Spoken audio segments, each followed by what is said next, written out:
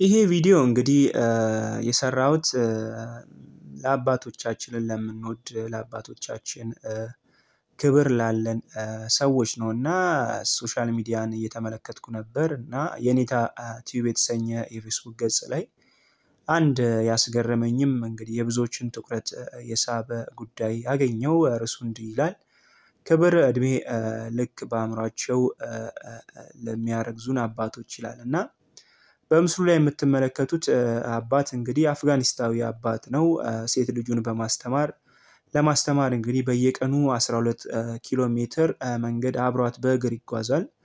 ትምህርቷን እስክትጨርስም እንግዲህ በትምህርት ቤቱ አካባቢ ሆኖ ለአራት ሰዓት ትምህርት ቤቱ በር ላይ ሆኖ ቁጭ ብሎ ይጠብቃታል እና ወደ ቤቷም ይመልሳታል በሁኔታው የተገረሙ የምዕራቡ አለም ሚዲያዎችም አንድ ቀን ስለ ሁኔታው ሲጠይቋቸው እኔ እንግዲህ ያልተማርኩ መሃይም ነኝ ያልተማርኩ የጉልበት ሰራተኛ ነኝ የልጄ መማር ግን ወሳኝ ነው በአካባቢያችን ወንድ ዶክተር እንጂ ሴት ዶክተር የለም እናም ልጄን ዶክተር እንድትሆን ተንከባክቤ እንደ ወንድ ማስተማር እና አላማዋን እንድታሳካ ማድረግ ትልቁ ፍላጎቴ ነው ብሏል። እንግዲህ ብዙ ጊዜ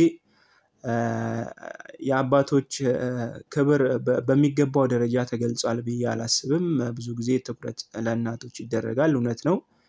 እናቶች ክብር ሊገባቸው ይገባል። በልጆቻቸው አስተዳደግ ላይ ቤተሰብን ከመምራት አኳያ የራሳቸው መልካም ተጽዕኖ አለ። ነገር ግን በዚህ መካከል አባትም የተዘነጋ ይመስለኛል። እና ይሄን ታሪክ እንደማሳያ አድርጌ እንግዲህ ልጆቻቸውን ለማሳደግ ትልቅ ደረጃ ለማድረስ ዋጋ ለሚከፍሉ ወላጅ አባቶቻችን ክብር ይገባቸዋል። እንድናመሰግናቸውም ምክንያት ይሆናል ብዬ ነው። እና ይሄን ቪዲዮ እንግዲህ ለምትወዱት አባት ላላችሁ ልጆች የሆናችሁ share በማድረግ ለእነሱ እንዲደርሳቸው ላደረጋችሁልን መልካም ነገርም ከልብ አመሰግናለሁ አባቴ ብላችሁ እንግዲህ እንድታመሰግኗቸው መልእክት ለማስተላለፍ ያለው ቪዲዮን ከወደዱት like አድርጉት። በቀጣይ ቪዲዮ እስከምንገናኝ በያላችሁበት መልካም ጊዜ